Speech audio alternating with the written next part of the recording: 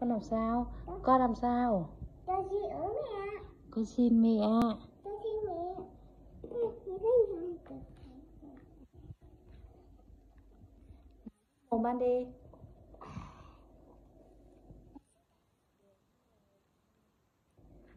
không? Cho tay. ăn ngon không? Anh ngon.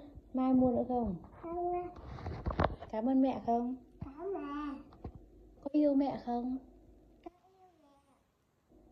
không.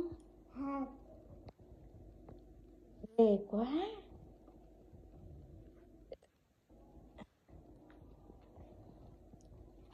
Tiêu chuẩn hai viên ăn ngon hai viên uh, rau. Viên ở trong mồm nữa là hai viên tăng đề kháng